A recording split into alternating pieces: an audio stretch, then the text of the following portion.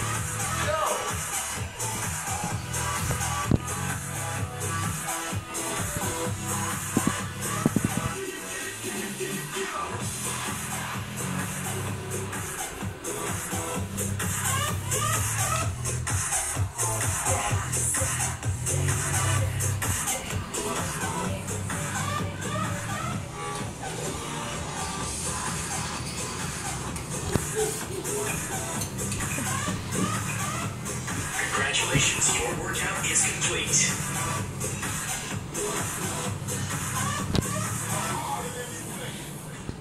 Well done.